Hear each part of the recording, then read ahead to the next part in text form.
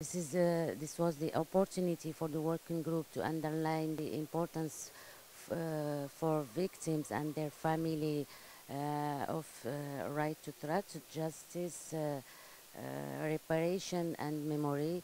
His Excellency expressed his willingness and the willingness of the government to support the process of the reconciliation, and his willingness also to different reforms in terms of uh, legislation, judiciary, and other institution, uh, institutional reforms uh, towards uh, uh, the, the rule of law and uh, consolidate democracy in uh, the Gambia. As you know, there are a lot of uh, cases or alleged cases of disappearance in the Gambia here. Did you discuss that during the meeting? Yes, for sure, not in detail, but uh, this is the main point, uh, and this is the mandate of the working group.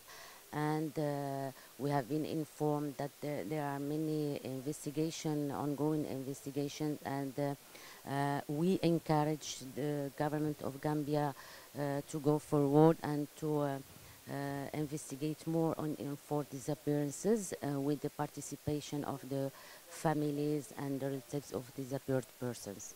One last thing, what, what role do you think can you play in, in this entire process?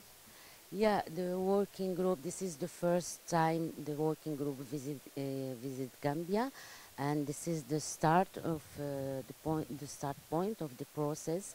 And there will be a report, and uh, the working group is ready to contribute to this process with technical assistance, and also giving advice to address adequately uh, um, the investigations and uh, also the uh, all the. This field related to enforced disappearances. Thank you.